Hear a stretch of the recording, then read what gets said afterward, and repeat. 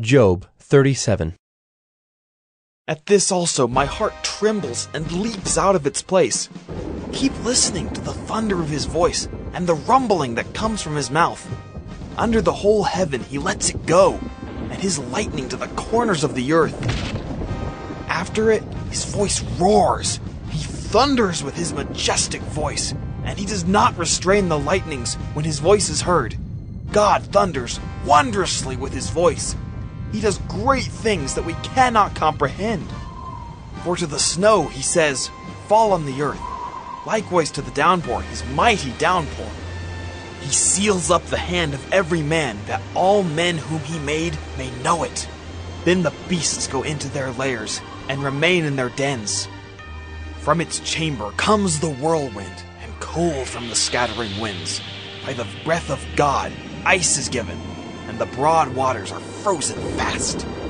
He loads the thick cloud with moisture. The clouds scatter his lightning. They turn around and around by his guidance to accomplish all that he commands them on the face of the habitable world.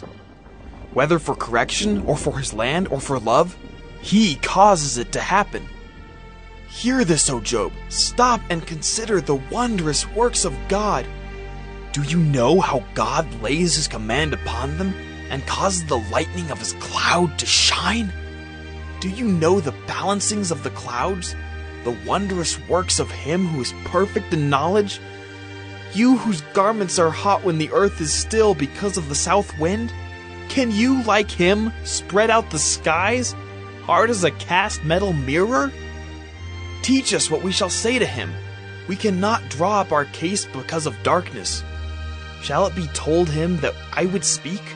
Did a man ever wish that he would be swallowed up?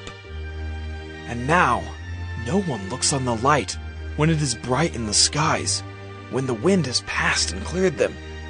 Out of the north comes golden splendor. God is clothed with awesome majesty. The Almighty, we cannot find him. He is great in power. Justice and abundant righteousness he will not violate. Therefore, men fear him. He does not regard any who are wise in their own conceit.